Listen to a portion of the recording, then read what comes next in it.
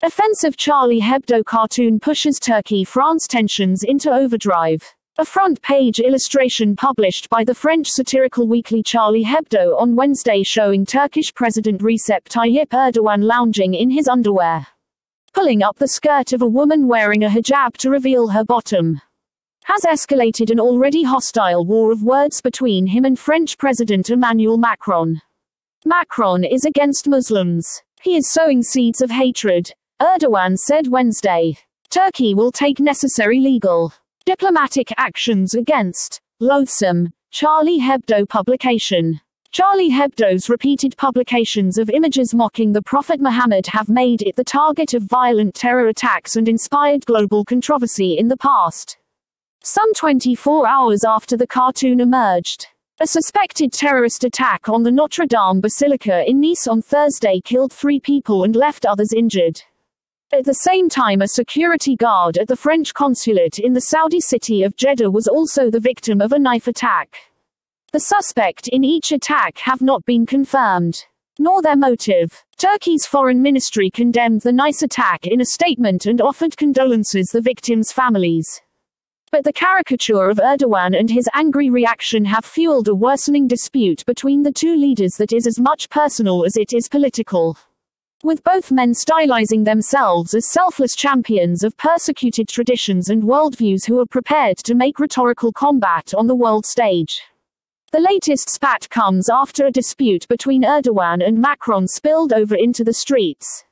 With protesters in Turkey, Syria, Iraq, Pakistan, Bangladesh and the Palestinian territories demanding that France condemn caricatures of the Prophet. Several governments in the Muslim world have already encouraged or imposed boycotts on French products, such as L'Oreal hair products and La Vache qui rit cheese triangles. On Tuesday, France's foreign ministry warned its citizens living in Muslim majority countries to take precautions and avoid public gatherings. So, though protests against images of the Prophet, whose depiction is forbidden in Islam, are not new. This week's flare-up owes much of its strength to Erdogan, who has led the charge against Macron. The conflict between Erdogan and Macron remains as much a clash of personalities and ambitions as a clash of civilizations. According to Sinan Ulgen, an expert in Turkish foreign policy and a visiting scholar at Carnegie Europe, a political think tank, given that we are indeed witnessing an escalation and that this can have no real positive outcome from the perspective of international relations. Both of them are moved rather by calculations that relate to their domestic political concerns, he said. The domestic political calculations come into play when they choose these confrontational theatrics, he added. Neither leader is motivated entirely by nakedly political considerations. Ulgen said. They likely believe the urgency of their respective missions. For Macron's part, he has sought to present himself as the standard bearer of Western liberalism as the United States has retreated from the Middle East and international institutions under President Donald Trump. Meanwhile, as Arab countries show a willingness to crush their own domestic Islamist movements and recognize their historical enemy Israel, Erdogan has wrapped himself in the banner of Palestinian liberation and a persecuted global Muslim identity. This narrative has captured the imagination of the Turkish population, said Ulgen, who called Erdogan's political project, Make Turkey Great Again. The conflict really began early this month. When Macron introduced legislation meant to strengthen French secularism against what he called Islamist separatism.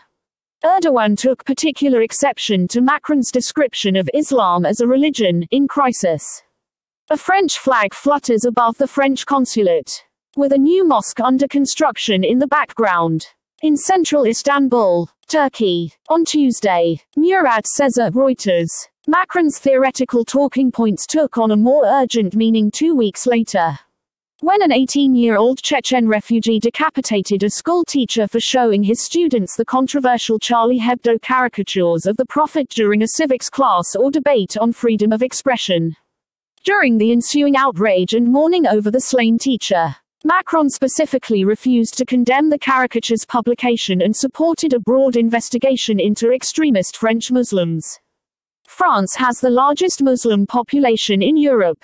according to Pew Research Center, with Muslims making up nearly 10% of France's population.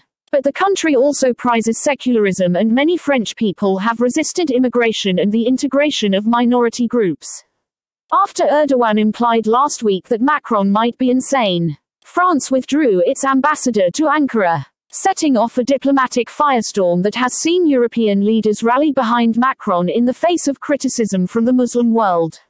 The stakes, and therefore the need to play political brinksmanship, are higher for Erdogan. Analysts say Erdogan has spent much of the past several years orchestrating military interventions in Syria. Iraq and Libya while exerting diplomatic influence over conflicts in Nagorno-Karabakh and the eastern Mediterranean Sea. With challenges like those, having external enemies can be politically useful. Bruno Tertrais, deputy director of the Foundation for Strategic Research in Paris, said, It would be a mistake to establish a symmetry between the two. Erdogan has been personally insulting Macron for a year now, the reverse is not true, Tertrais said in an email. Erdogan is clearly surfing on a populist nationalist wave, using Macron as a punching bag. Indeed, by most political metrics, Macron is in a more secure position than his Turkish counterpart. Unlike Erdogan, Macron's gambit is more about ambition than political survival. The pro-government newspaper Yeni Şafak calling for a boycott of French goods. Istanbul. On Tuesday, Yasin Akgül, AFP. Getty Images. Still, the wellspring of outrage in the Middle East could complicate Macron's pet diplomatic projects that are essential to his self-image, a government-building effort in Lebanon. Negotiations to end Libya's civil war. Stubborn Islamist insurgencies in the African Sahel. And a show of force against increasing Turkish militarization in the eastern Mediterranean. The worst threats to Macron come from a right-wing opposition, which has repeatedly come within striking distance of taking the Elysee Palace. A statement Monday from the National Rally, the party of right-wing populist Marine Le Pen, dripped with derision for both Erdogan and Macron. Jordan Bardella, the party's vice president and a European parliamentarian, called Erdogan an Islamist sultan, whose provocations and aggressions shouldn't be accepted with mere moral condemnation and naive calls for discussion. Both men will soon face re-election, Macron in 2022 and Erdogan in 2023. Those contests will help answer whether diplomatic swagger plays as well at home as it does abroad.